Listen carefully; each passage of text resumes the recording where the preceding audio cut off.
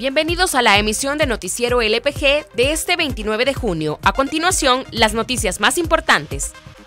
Un total de 300 militares han sido desplegados en diferentes puntos del departamento de Santa Ana luego del asesinato de tres agentes de la Policía Nacional Civil ocurrido a la tarde del martes. La presencia de los militares se ha dado principalmente en las comunidades Santa Lucía y Contexa cercanas al lugar del ataque. Además, los soldados acompañaron a personal policial durante el cateo casa por casa en diferentes colonias en la búsqueda de los sospechosos del triple crimen. Asimismo, mantienen controles vehiculares en diferentes calles del área urbana y en salidas y entradas al municipio. La jefa anticorrupción de Cristosal, Zaira Navas, se pronunció sobre el asesinato considerándolo un hecho de violencia muy preocupante para El Salvador y dijo que esta demanda investigaciones serias por parte de las autoridades.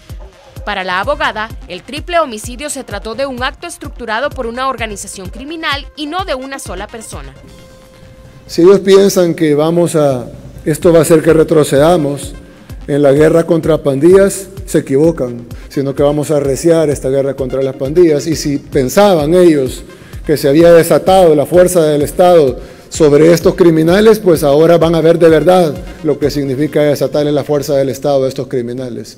No vieron nada en estos dos meses y medio de guerra contra las pandillas, porque lo que se les viene es mucho mayor y van a pagar caro. Ese fue el mensaje del presidente Nayib Bukele pocas horas después del asesinato de tres agentes de la PNC a manos de grupos terroristas en Santa Ana.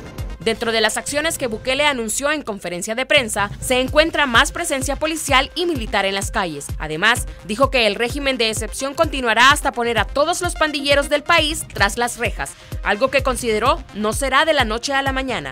Sobre el hecho mencionó que hay un pandillero herido en custodia en un hospital y que están en la búsqueda de los autores intelectuales y prometió que no pagarán por este crimen solo los culpables, sino las pandillas en su totalidad.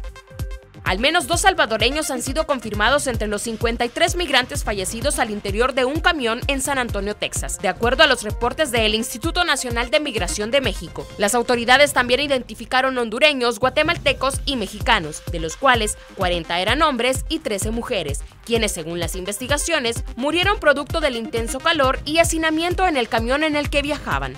Tres hombres han sido capturados vinculados a la tragedia ocurrida el pasado 27 de junio y que es investigada por Estados Unidos y México. El gobierno salvadoreño oficializó el mecanismo que seguirá para recompensar económicamente a personas que denuncian a pandilleros a través de la línea telefónica 123.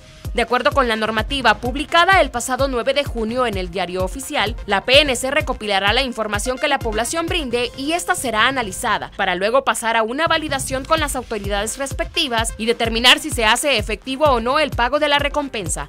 Sin embargo, la normativa no determina los montos a brindar a las personas que denuncian a supuestos criminales. Lo único que explica es que el pago estará determinado de acuerdo a la gravedad y el perfil delictivo de la persona denunciada.